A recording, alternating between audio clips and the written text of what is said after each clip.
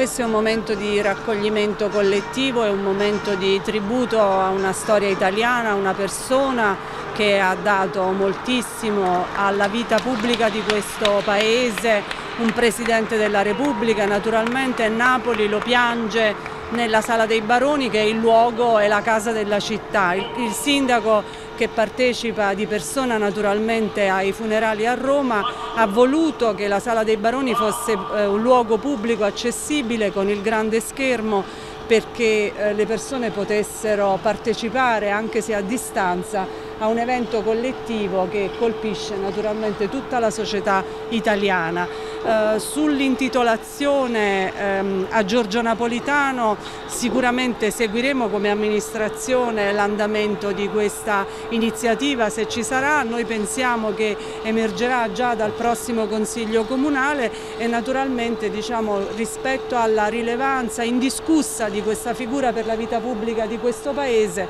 dedicheremo tutta l'attenzione necessaria a un'iniziativa di questo genere. In questa giornata di lutto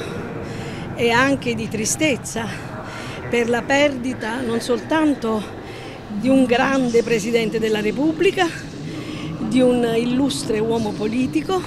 ma anche, lasciatemelo dire, di un grande napoletano.